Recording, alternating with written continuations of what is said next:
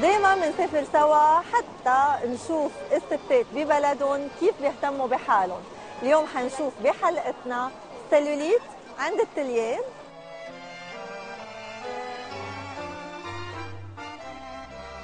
وأكيد بنكفي على أحلى سبا حضرت لكم إياه بروما. كيف بيتخلصوا من السلوليت خصوصا إذا مبلشين جديد.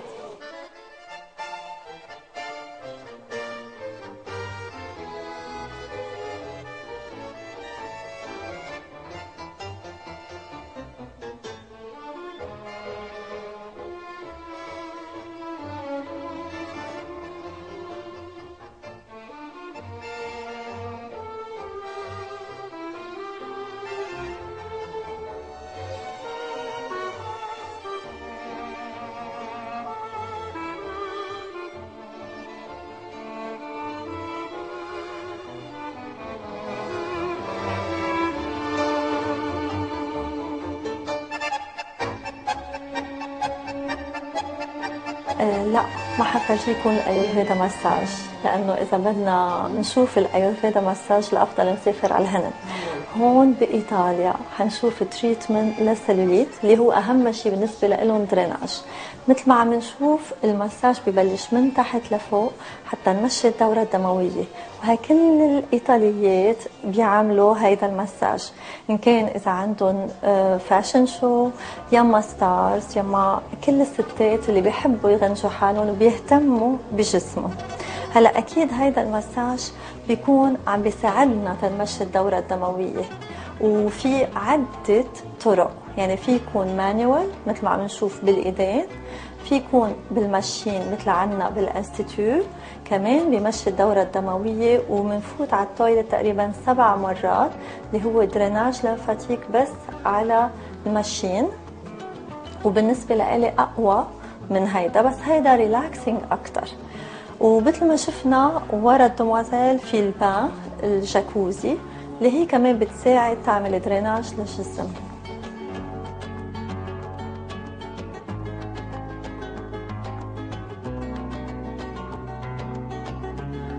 إذا عنا سلوليت متقدمة يعني صار في من ورا ولادة يما من ورا شوية أكل ما قلنا غير ال appareil ات اللي عنا بال institut بشميزة بتساعد حتى نخلص من السلوليت بطريقة أسرع.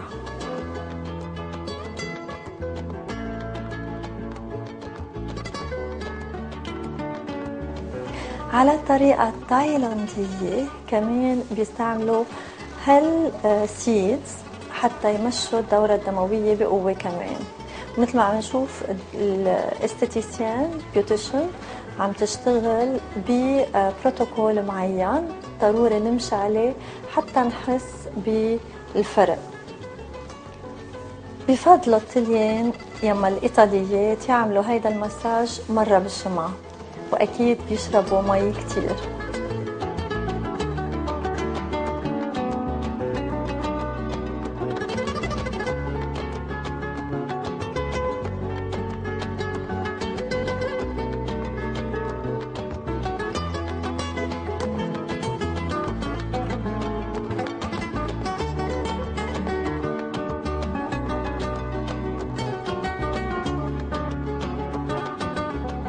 نعرف إنه السلوليت مكدسة ولازم نشتغلها بعمق ال manual كتير منيح إذا شئنا مبلش بس إذا صار له أكثر من ست شهور ضروري ينعمل ب machine حنشوف عندي بال institut جين نصار Beauty Center بلبنان بينشغل ب machine هيدي ال machine بتكون عم بتكسر الدهون بأول طبقة وثاني طبقة. بدون ما تأذي أكيد بس بخمس جلسات بنحس نص السلوليت راحوا وبعشر جلسات تقريبا ثلاث أرباعهم.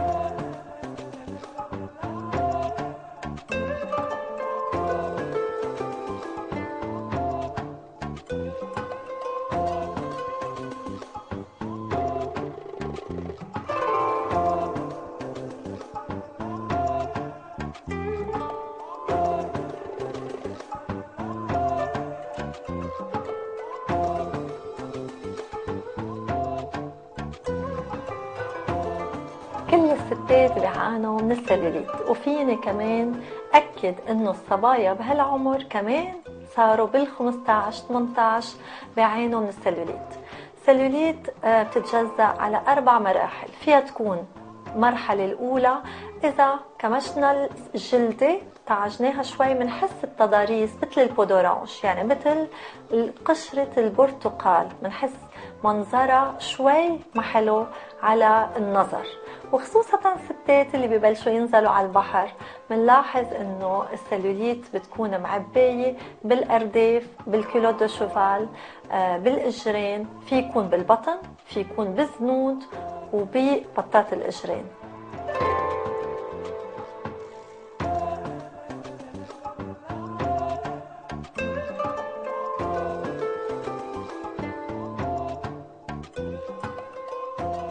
هيدي الطريقة منلاقي مفعول من ثالث جلسة على الجلدة منحس الجلدة صارت أنعم تضاريس خفوا الست كل أصحابها بيقولوا لها إنه عم بتزمي.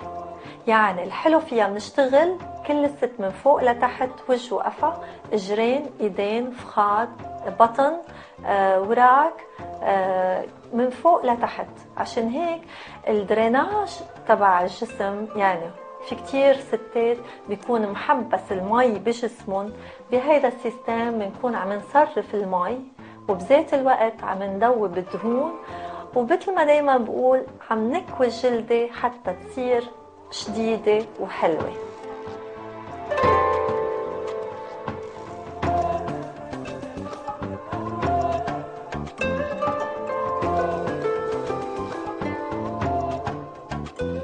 الطريقة ما فيني أقول لكم آه، آخر technology لأنه في البي ار سيل 5 وأكيد حتشوفوها على ال TV اللي هي البي ار سيل 5 تعمل بي ار سيل يعني الطريقة هيدي plus أربع جهازات بجهاز واحد.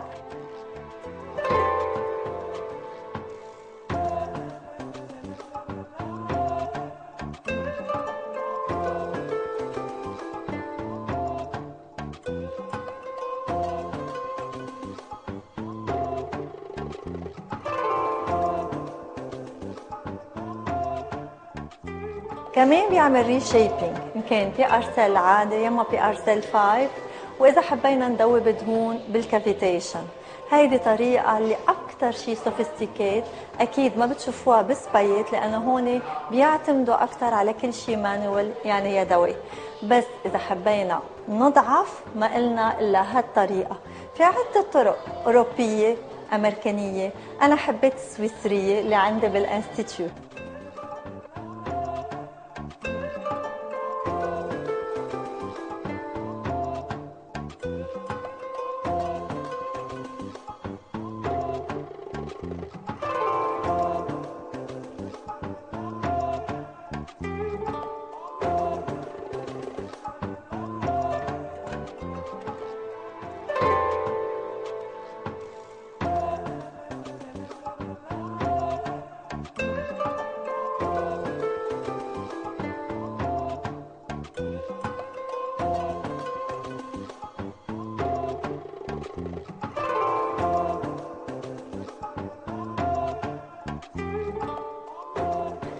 شطارتكم ما في غير. يا ما تتغنجوا.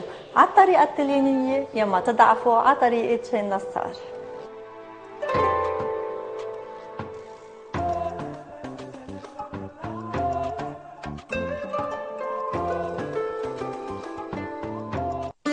دبي ولا اليونان؟ منبلش بدبي ومنميل على اليونان.